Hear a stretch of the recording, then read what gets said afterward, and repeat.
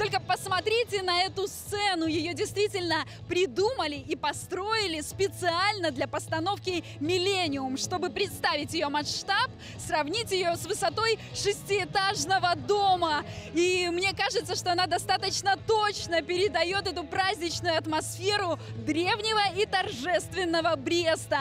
Под сценой работает бассейн, в него тоже будут спускаться артисты, ну а фонтаны станут ярким украшением постановки. Вся программа – это ожившая история, ее самые важные, трогательные и, конечно, трагические моменты. Если представить, что до просмотра постановки вы совсем не знакомы с Брестом, то после точно запомнятся основные главы его истории.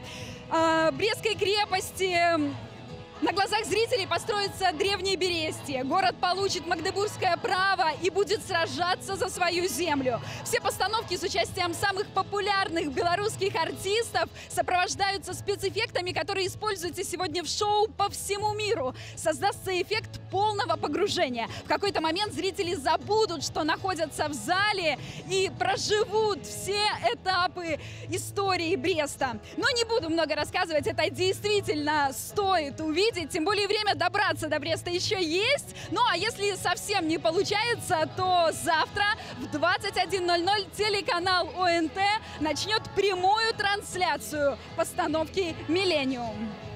Анна, вы уже прониклись атмосферой Бреста, возможно, по-другому на него взглянули. Переезжать не собираетесь?